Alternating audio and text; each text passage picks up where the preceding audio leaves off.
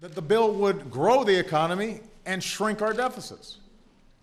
Independent economists have shown that if the Senate bill became law over the next two decades, our economy would grow by $1.4 trillion more than it would if we don't pass the law. It would reduce our deficits by nearly a trillion dollars. So this isn't just the right thing to do, it's the smart thing to do.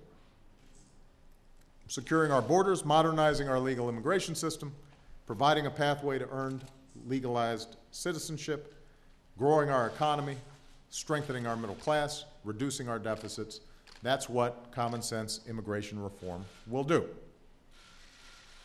Now, uh, obviously, just because something is smart and fair and good for the economy and fiscally responsible and supported by business and labor and the evangelical community and many Democrats and many Republicans, that does not mean that it will actually get done. this is Washington, after all. So, so everything tends to be viewed through a political prism. And everybody's been looking at the politics of this. And I know that there are some folks uh, in this town who are primed to think, well, if Obama's for it, then I'm against it. Um, but you know, I'd remind everybody that my Republican predecessor was also for it when he proposed reforms like this almost a decade ago.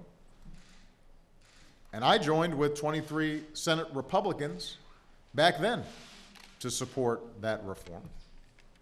I'd remind you that this reform won more than a dozen Republican votes in the Senate in June.